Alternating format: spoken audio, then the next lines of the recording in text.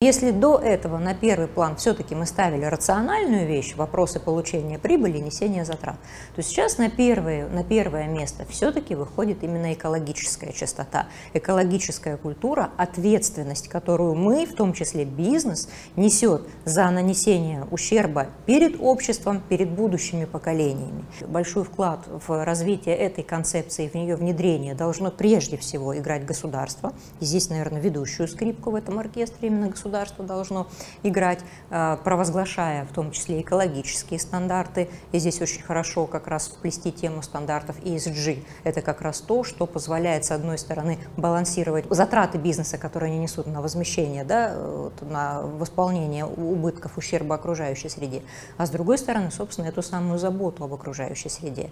Здесь государство должно принимать взвешенные решения. У нас есть та же горнодобывающая отрасль, которая очень хорошие налоговые доходы приносит но с другой стороны и ущерб она тоже наносит экологии немалый. Поэтому здесь и мы тоже для себя должны сделать этот выбор, да? либо ввести механизмы жесткого регулирования, либо, может быть, вплоть до того, что вообще отказаться от функционирования каких-то отраслей, понимая, что мы теряем большее. Пусть это нельзя измерить деньгами, поэтому здесь вот и для государства стоит такая важная задача, да? выбрать, во-первых, для себя позицию свою и эту позицию притворять в жизнь.